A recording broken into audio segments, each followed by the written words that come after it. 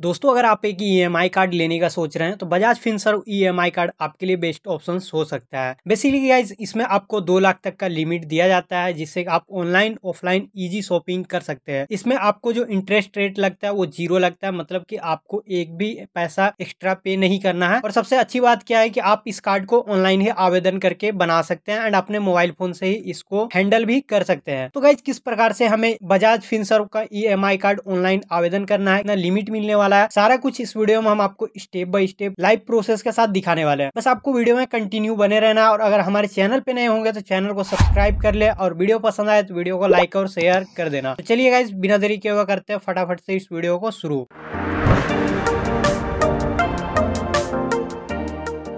उसके लिए गाइज़ आपको हमारे वीडियो के डिस्क्रिप्शन बॉक्स में एक लिंक मिलेगा, उस पर क्लिक करेंगे डायरेक्ट आप इस पेज पे आ जाएँगे इंस्टा ई कार्ड वाले पेज पे आ जाएँगे। यहाँ पे गाइज़ आपको बजाज फिंसर का ईएमआई कार्ड का डेमो कुछ इस प्रकार से दिया गया है। आप यहाँ पे देख सकते हैं, दो लाख तक का आपको लिमिट दिया जाएगा। Easy online and offline shopping कर सकते हैं। तो अभी आपको यहाँ पे ऑनलाइन आवेदन कैसे करना है, उसके लिए आपको यहाँ पे अपने मोबाइल नंबर को इंटर करना है और उसके बाद गेट इट नाउ वाले ऑप्शन पे क्लिक कर देंगे। गेट इट नाउ वाले ऑप्शन पे जैसे ही क्लिक करेंगे तो आपके मोबाइल नंबर पे एक ओटीपी सेंड किया जाएगा ओटीपी फिल करके आपको सबमिट कर देना है। अगला पेज आपके सामने कुछ इस प्रकार से इंस्टेंट अप्रूवल का आ जाएगा। तो गैस यहाँ पे आप देख सकते हैं कि तीन स्टेप में आप अपने ईएमआई कार्ड को अप्लाई कर सकते हैं एंड एक्टिवेट भी कर सकते हैं। पहला स्टेप में आपको कुछ बेसिक डिटेल्स फिल करना, उसके बाद वेरीफाई डिटेल्स करना, उसके बाद एक्टिवेट कर लेना है कार्ड को। तो सबसे पहले आपको अपना यहाँ पे फुल नेम इंटर करना है। यहाँ पे अपना डेट ऑफ़ बर्थ इंटर करेंगे, अपना पिन नंबर यहाँ पे इंटर करेंगे और रेसिडेंशियल पिन कोड का ऑप्शन दिख रहा होगा। तो आपको यहाँ पे अपने एरिया का जो पिन कोड है, आपके आधार कार्ड में जो पिन कोड है,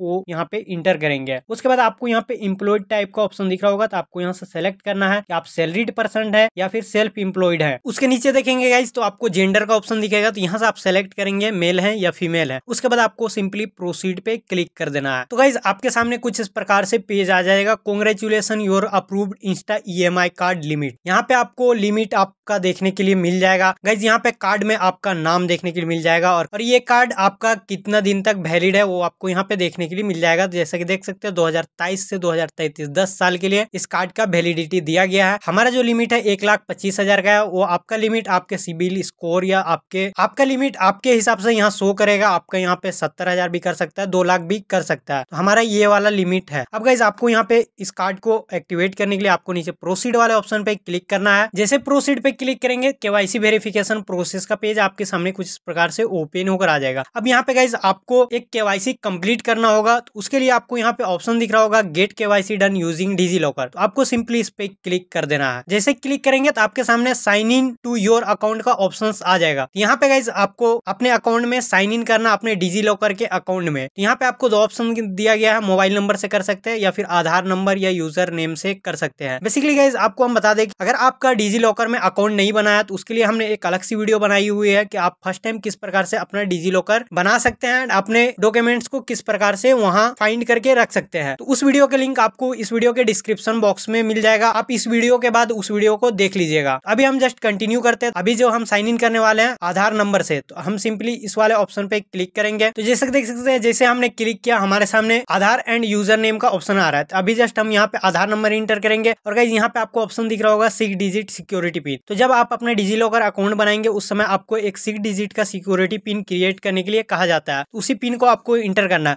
अगर आपने बहुत पहले डिजी लॉकर अकाउंट बनाया हुआ है और अपना सिक्योरिटी पिन भूल चुके हैं तो गाइज़ आपको यहाँ पे फॉरवर्ड सिक्योरिटी पिन का भी ऑप्शन दिख रहा है। आप इस पर क्लिक करके अपना जो सिक्योरिटी पिन है, उसको चेंज भी कर सकते हैं फॉरवर्ड कर सकते हैं। इतना कुछ करने के बाद आपको यहाँ पे साइन इन वाले ऑप्शन पे क्लिक कर देना है। जैसे साइन इन पे क्लिक करेंगे आपके सामने वेरीफाई ओटीपी का पेज आ जाएगा। तो आपके मोबाइल नंबर पे एक ओटीपी यहाँ पे सेंड किया गया होगा तो ओटीपी यहाँ इंटर करेंगे एंड सबमिट वाले ऑप्शन पे क्लिक कर देंगे। आपके सामने एक परमिशन का पेज आएगा तो यहाँ पे आपको गाइज़ अलाउ कर देना है। डिजी लॉकर बेस्ट केवाईसी का पेज आपके सामने आ जाएगा। तो यहाँ पे देख सकते हैं केवाईसी एलिजिबल डॉक्यूमेंट्स आपको यहाँ दो डॉक्यूमेंट्स का ऑप्शन आ रहा है, Aadhaar card and driving licence आप जिसको भी सेलेक्ट करना चाहते हैं, आप अपने हिसाब से सेलेक्ट कर लेंगे। यहाँ आपका डॉक्यूमेंट शो कर जाएगा। तो अभी जस्ट हम यहाँ पे आधार कार्ड से केवाईसी करने वाले यहाँ सेलेक्ट वाले ऑप्शन पे क्लिक करेंगे। जैसे क्लिक करेंगे तो आपके आधार कार्ड से आपका डिटेल जो है इस फेच कर लेगा। यहाँ पे आपका फ़ोटो आपका नेम आपका डेट ऑफ़ बर्थ आपका एड्रेस वगैरह सारा कुछ यहाँ पे शो कर जाएगा। बेसिकली आपको यहाँ पे कंफर्म वाले ऑप्शन पे क्लिक करके नेक्स्ट कर देना। है अगला जो स्टेप है, वो वेरीफाई डिटेल्स का कंप्लीट हो जाएगा। तो यहाँ पे गाइज़ आपके सामने लास्ट आपके सामने लास्ट डिटेल्स आ गया है। यहाँ पे रिलेशन डिटेल्स आपको फिल करना होगा। जैसे आपको यहाँ पे ऑप्शन दिख रहा होगा मदर्स फादर्स आप स्पोर्स का नेम यहाँ पे फिल कर सकते हैं। आप अपने हिसाब से यहाँ किसी को भी सेलेक्ट कर सकते हैं और यहाँ पे रिलेशन नेम इंटर करना है। जैसे कि हमने मदर का सेलेक्ट किया हुआ है तो यहाँ पे हमें मदर्स का नेम इंटर करना होगा। फादर्स का अगर आप यहाँ पे सेलेक्ट करते हैं तो फादर्स का नेम यहाँ पे आपको इंटर करके प्रोसीड कर देना है। अगला पेज आपके सामने समरी का आ जाएगा। तो यहाँ पे गाइस आपका कार्ड का जो लिमिट है, वो यहाँ पे शो करेगा। और यहाँ पे देख सकते हैं फ़र्स्ट ट्रांजेक्शन लोन लिमिट आपका जो फ़र्स्ट ट्रांजेक्शन रहने वाला, वो फोर्टीन थाउज़ेंड का रहने वाला है, जैसे कि मेरे में दिख रहा है। और यहाँ पे देख सकते हैं use your insta E M I card आप इस कार्ड को कहाँ कहाँ यूज़ कर सकते हैं? जैसे कि पार्टनर स्टोर्स में कर सकते हैं बजाज फिंसर ऑनलाइन स्टोर में कर सकते हैं ई कॉमर्स पार्टनर्स में कर सकते हैं। बेसिकली इन तीन ऑप्शन में सारे दुकान वगैरह आ जाते हैं तो आपको यहाँ पे अभी कुछ नहीं करना। फ़र्स्ट टाइम आपको कार्ड को एक्टिवेट करने के लिए five hundred ninety nine rupees का अमाउंट पे करना पड़ता है। तभी जाके आपका कार्ड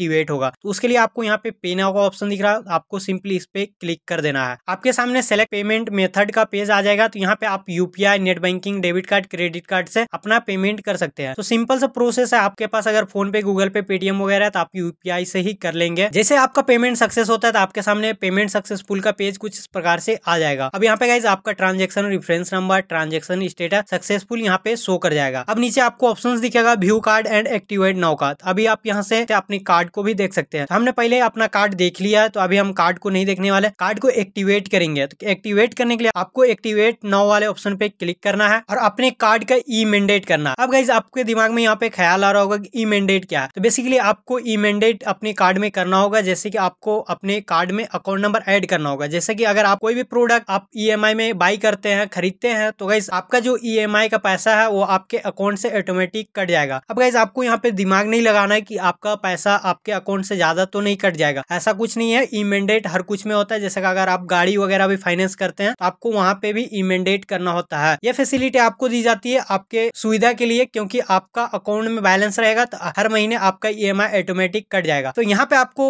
उसी का अकाउंट नंबर डालना है, जिसके नाम से कार्ड है। अभी जस्ट हम यहाँ पे अपने कार्ड होल्डर का नेम इंटर करेंगे। यहाँ पे आईएफएससी कोड इंटर कर देंगे और अपना अकाउंट नंबर है उसको अच्छे से यहाँ फिल कर देना है। और यहाँ पे अकाउंट टाइप का ऑप्शन दिख रहा होगा तो आपको यहाँ पे करंट और सेविंग अकाउंट जो भी है, उसको सेलेक्ट कर लेना है। सेलेक्ट करने के बाद आपको प्रोसीड कर देना है। अगला पेज गाइज़ आपके सामने कुछ इस प्रकार से आ जाएगा क्रिएट मेंडेट का। तो गाइज़ आपका यहाँ पे अकाउंट का पूरा डिटेल्स यहाँ पे शो करेगा। अब नीचे आपको ऑप्शन दिया जाता है दो option verify using debit card and net banking बहुत से लोगों के पास नेट बैंकिंग नहीं रहता है बेसिकली तो आपके पास तो एटीएम कार्ड होगा तो डेबिट कार्ड वाला ऑप्शन सेलेक्ट करेंगे एंड आपको इस टर्म्स वाले बॉक्स पे क्लिक करके सबमिट कर देना है। तो गाइज़ जैसे सबमिट करेंगे, आपका जो कार्ड है, पूरी तरह से एक्टिवेट हो जाएगा। आप अपने कार्ड को कहीं भी यूज़ कर सकते हैं। अब गाइज़ बात करें कि अपने कार्ड को हम किस प्रकार से हैंडल करेंगे। उसके लिए फ्रेंड्स आपको बेसिकली प्ले स्टोर से Bajaj Finserv UPI pay loans का जो एप्लीकेशन है, उसको इंस्टॉल कर लेना इस ऐप का लिंक आपको वीडियो के डिस्क्रिप्शन में भी मिल जाएगा। आप इस एप्लीकेशन को अपने मोबाइल फ़ोन में इंस्टॉल करेंगे एंड आपने जिस मोबाइल नंबर से अपना बजाज फिंसर ई कार्ड लिया हुआ, उस मोबाइल नंबर को इंटर करके आपको इस ऐप में वेरीफाई लॉग कर जाना है। उसके बाद आपका यहाँ पे कार्ड शो कर जाएगा। तो नेक्स्ट वीडियो में हम आपको बता देंगे कि आपको ऑनलाइन शॉपिंग वगैरह किस प्रकार से करना, अपना कार्ड वगैरह कहाँ पे शो करेगा। तो नॉर्मल सा फंड अगर आप खुद से भी करना चाहते हैं तो आप कर सकते हैं। आप ट्राई करके देखें इस एप्लीकेशन को इंस्टॉल करके और लॉग करके आपको सारा कुछ अच्छे से समझ में आएगा। बाकी कुछ समझने के लिए नेक्स्ट वीडियो का वेट करें, आपको जल्दी एक वीडियो मिल जाएगी। बजाज फिंसर ई कार्ड को कैसे यूज़ करेंगे। तो आशा करते हैं कि इस वीडियो के माध्यम से आप बजाज फिंसर